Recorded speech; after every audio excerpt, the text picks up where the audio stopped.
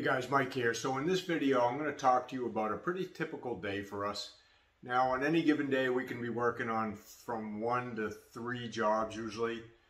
The list we have is usually 30 to 50 jobs that are ready to go, or we either have to go and form them up and get them ready, but they're sitting there waiting for us.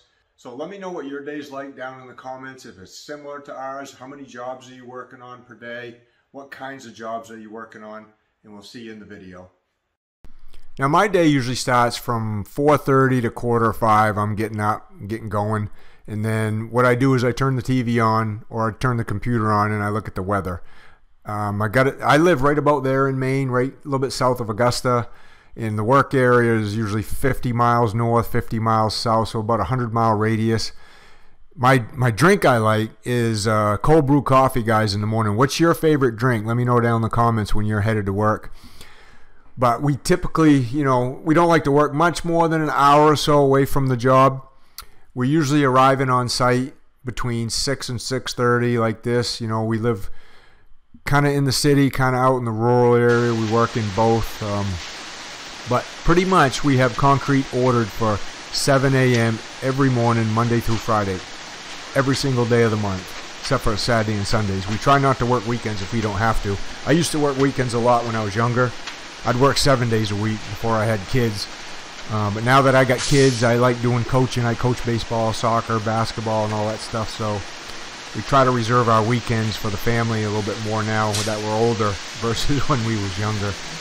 We got Javi helping us today, as you can see in the hat. Javi's been on a couple other videos. He lives right down by this job. He doesn't live too far away.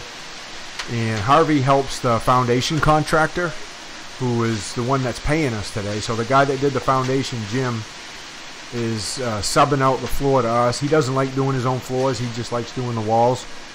And that's pretty typical of a lot of concrete foundation contractors in Maine. They they don't like doing flat work. They just like doing the walls. So they hire out and they sub out the floors to guys like me. And there's there's not a lot of guys around that do flat work here that are just really good that you don't have to babysit and don't have to worry about. So that's one reason why we're so busy. A lot of guys like to hire us to do flat work um, because they, they, I mean, they pretty much know and they trust us and they know it's going to come out right. That's one thing about concrete. You can't mess it up. You got one chance to do it right, and that's pretty much it. Once you mess it up, it's just the repair is, a, is just crazy. So we're doing about a, it's about a 44 by 28 garage here today. Pretty typical pour for us. We did the house here, I don't know, a month or so ago. They didn't have the garage ready at that time. So we come back to do the garage on a job like this. And we'll get the concrete poured. You know, it's a, it's a pretty typical pour, four inches thick, using 3,500 PSI with fiber mesh. Um, Jim, he's right there on the right. He's the one that that specs the concrete on his job, so he actually figures the concrete and orders it for his jobs. All the other jobs that I do, I do all the figuring and ordering on, and all the scheduling. So Jim just calls me and asks me, "Hey Mike, you know when I got this floor ready, when can you do it?" I give him a day, and then we shoot for that day unless the rain messes it up or something. But we're usually pretty close to the day we talk about. Now we have we have concrete on the books for every single day. So the batch man, what he does, he writes our name in every single day, at, at least two weeks to three weeks in advance for every single day. Two trucks every day, and then if I know, depending on what job we're doing, because like I said earlier, there's we have 30 to 50 jobs on the list, and some are ready, some need to be prepped and get ready, like I'm going to show you later in the video where I'm going. Um, and some, you know, they're just pulling the panels off the walls and they still need to be backfilled and they might be a couple weeks out. But all those jobs are on the list, so the batch man knows that we're going to be pouring concrete every day. So he just he just writes us in for a couple trucks. And then if I need more than that, I've got to give him enough advance notice, you know, so he can add a third truck or a fourth truck, whatever we need. And then if I don't need two trucks for whatever reason, you know, I call them and tell them, hey, I only need one today. So it's a pretty good working relationship we have. It makes it makes our job a little bit easier knowing that, hey, I at least have two trucks on the books, you know, and I don't have to I don't have to call them every single minute and, and hope and beg for trucks. I know some of you guys probably have a hard time scheduling concrete because the concrete companies are so busy. They just have a hard time getting everybody. So we're getting this garage floor put. It had, uh, I think it had two or three inches slope from the back to the front. That's why we're screeding it by hand today and not using the power screed. We don't typically power screed stuff that has slopes. We like use doing it by hand because we can get we can get things really really accurate without the vibration just by hand screeding like this. This is how I was taught to screed, you know, when I was 15, so almost over 40 years ago, this is exactly the way I was taught to screed like this. I've been doing this a long, long time. Now, Jim is here. He just showed up just, just because he likes to show up and it's pretty close by for him. So he, uh, and Javi's going to be working and helping him today, I think. So he's, Javi showed up. He lives pretty close by. We like to help each other because we're, you know, we're good friends too, not just co-workers. And what we're going to do after this is we're going to help Jim pour some sonotubes out back that the builder installed. So we'll help him wheel those around back in the sand. And just, you know, he helps us and we help him and it works all out pretty good that way. Alright, so same truck, just finishing up. Got the floor done. Now we're just moving him over, getting him a little closer to those wheelbarrows so we can go down and wheel those sonotubes.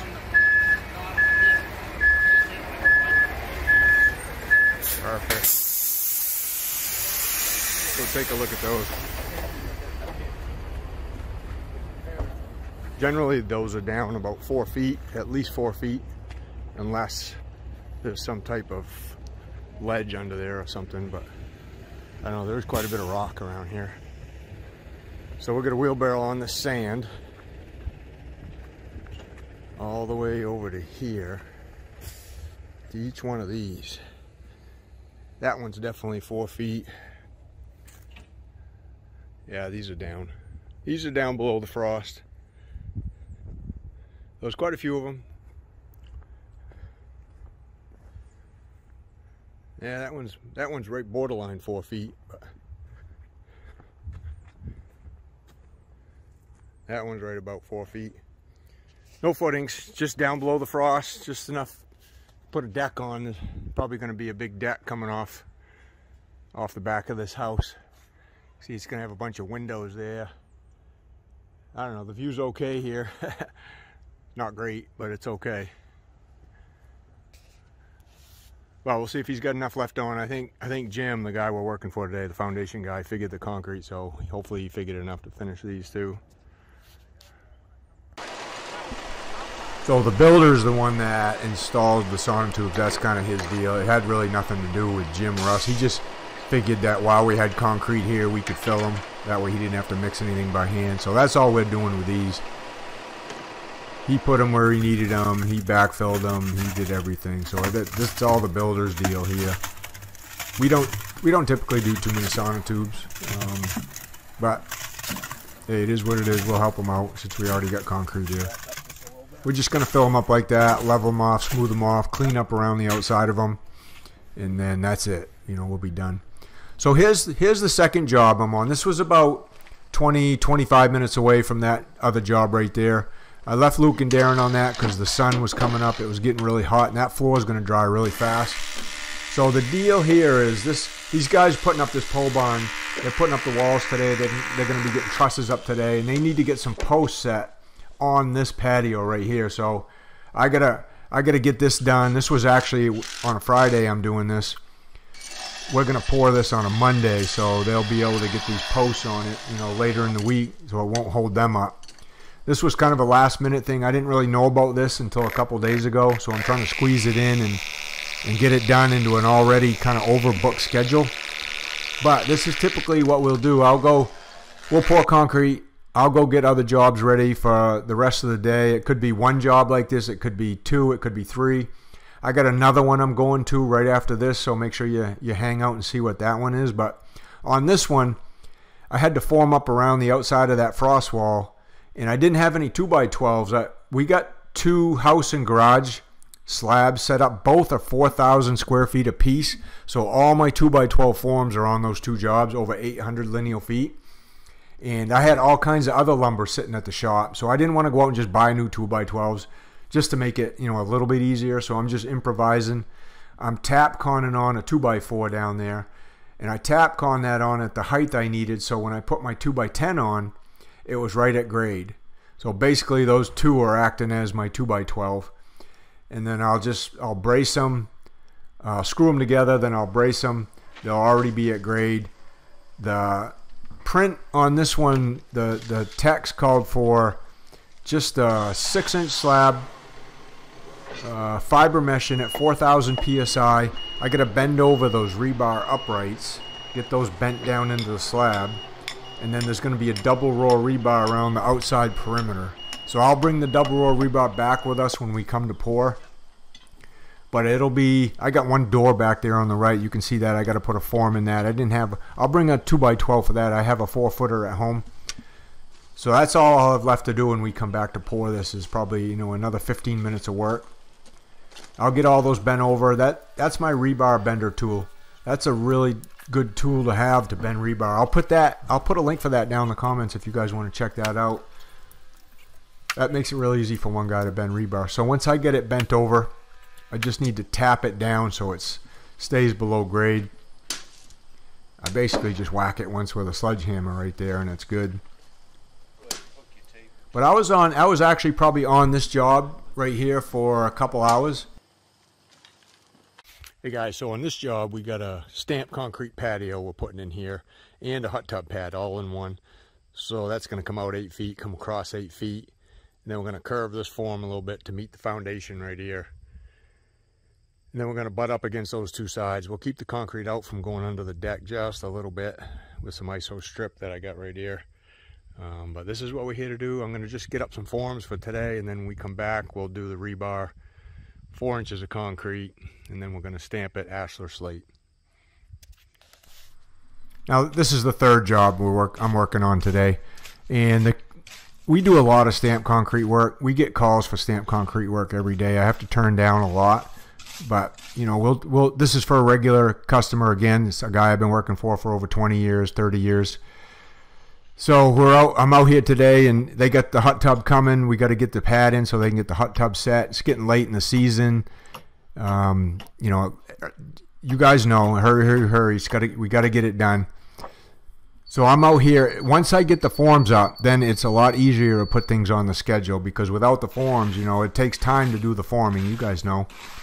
But once you get the forms up and get things set, then it's pretty easy to get it on the schedule and get things done. It's a lot easier anyway, I feel. So I'm going to, you know, we'll have the little square part over there where the hot tub is. Then the patio area, they just want a little bit of curve in front here. I'll get these all set. This is going to be, I think it's a little under 400 square feet. It's going to be stamped with ashlar slate. We'll put gray color in the concrete. I'll put a mat rebar in it or maybe wire mesh, whatever I bring back with me. And then, you know, this job will be sitting here ready to go. And then we can just schedule it and get it on the schedule. This is something that two of us could come do after we pour our first job in the morning or I, we could pour this first thing in the morning. I could leave Luke and Darren. I could go set up some more work. But this is pretty typical day for us. So again, let me know down in the comments what's a typical day for you guys. I, I really appreciate you guys watching. Thanks for supporting the channel. And we'll see you on the next one.